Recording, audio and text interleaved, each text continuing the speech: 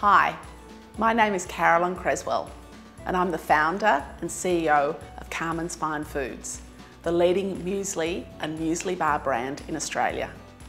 For 25 years now, we've believed in the same simple philosophy, real food made with real passion.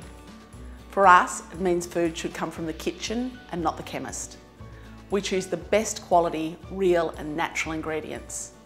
We believe that once you've tried Carman's, you'll never go back.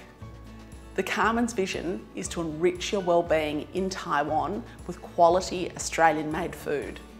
And wow, we love hearing the response so far, especially for our delicious crunchy clusters.